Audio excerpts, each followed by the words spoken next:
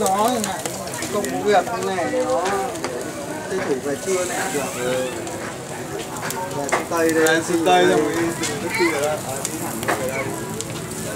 về xuống tây xong rồi chiều ở đón mà mượn xe máy về